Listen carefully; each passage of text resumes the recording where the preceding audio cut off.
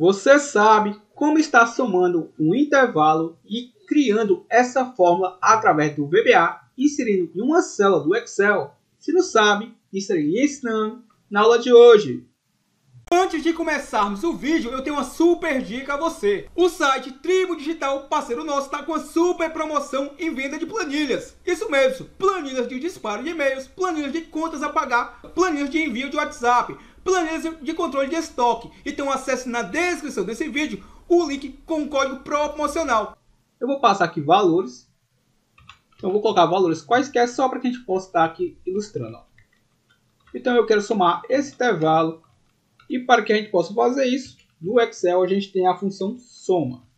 Então, por exemplo, igual, vou utilizar aqui a função soma, vou passar aqui o intervalo que eu quero estar somando, ao dar um Enter ele somou aqui para a gente.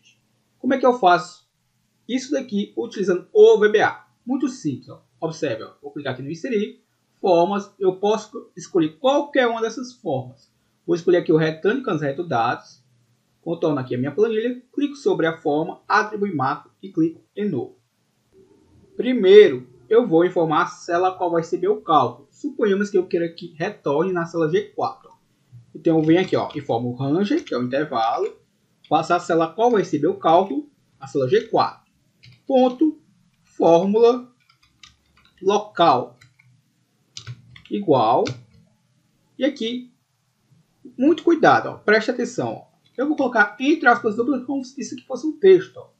Eu vou utilizar novamente o sinal de igualdade, vou passar aqui a função, que é a função soma, e vou passar o intervalo ao qual eu quero estar somando, ó, de A2 a D5.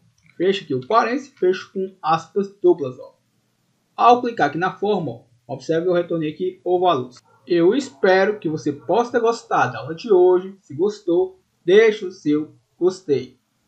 Lhe convido a estar se inscrevendo agora em nosso canal. Já somos mais de 34.659 inscritos que têm aprendido Excel e o melhor, de forma gratuita.